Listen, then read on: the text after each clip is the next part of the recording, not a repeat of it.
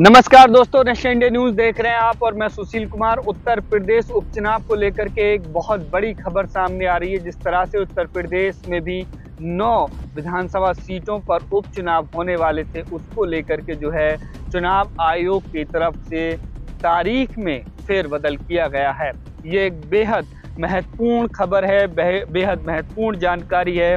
उत्तर प्रदेश में तेरह नवंबर को जो नौ विधानसभा सीटों पर वोटिंग होने वाली थी, उनकी तारीखों को बदल दिया गया है। करीब एक सप्ताह जो है, उनका वक्त बढ़ा दिया गया है। और अब 13 नवंबर को होने वाली वोटिंग जो है, अब 20 नवंबर को होगी। चुनाव आयोग ने एक ये बड़ा डिसीज़न लिया है, बड़ा फैसला किया है और इसके पीछे तर्क दिया गया है। गंगा स्नान का, ये कहा गया चुनाव आयोग की तरफ़ से कि तमाम जो राजनीतिक दल हैं, उनकी तरफ़ से भी मांग की गई थी कि जो एक सामाजिक, सांस्कृतिक जो त्यौहार है, कार्यक्रम है, उसके चलते जो है चुनाव की तारीखों को जो है, बदला जाए। तो चुनाव आयोग ने नौ विधानसभा सीटों पर जो उपचुनाव होने वाले थे, उसकी तारीखों को भी जो है, बदल दिया गया है और अब 20 नवंबर को ही जो है, वो वोटिंग होगी। मैं आपको बता दूँ, करहल की, करहल विधानसभा सीट, मैनपुरी ज़िले की वहाँ विधानसभा, जो है उपचुनाव होना है।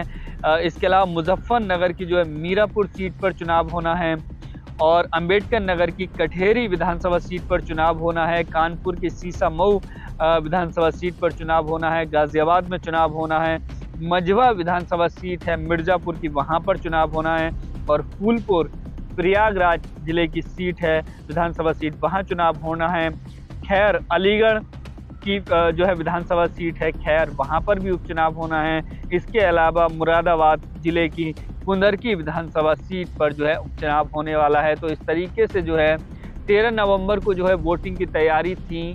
चुनाव आयोग ने जो है इससे पहले जो घोषणा की थी, वो तेरह नवंबर की तारीख का ऐलान किया था। लेकिन अब जो है चुनाव आयोग ने उत्तर प्रदेश में होने वाले उपचुनाव की तारीखों को जो है बदल दिया है। अब जो है तेरह नवंबर के बजाय बीस नवंबर को ही वोटिंग होगी और तेईस नवंबर को जो है वो नतीजे आएँगे। तो फ़िलहाल इस वीडियो में इस खबर में सिर्फ़ इतना ही। आप लोगों का बहुत बहुत शुक्रिया।